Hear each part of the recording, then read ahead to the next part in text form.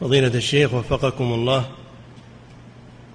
يقول السائل هل لي أن أعمل بالفتوى الموجودة في موقع سماحة الشيخ ابن باز أو الشيخ ابن عثيمين رحمهم الله أو في موقعكم وفقكم الله إذا كانت الحالة مطابقة لحالة فتواي؟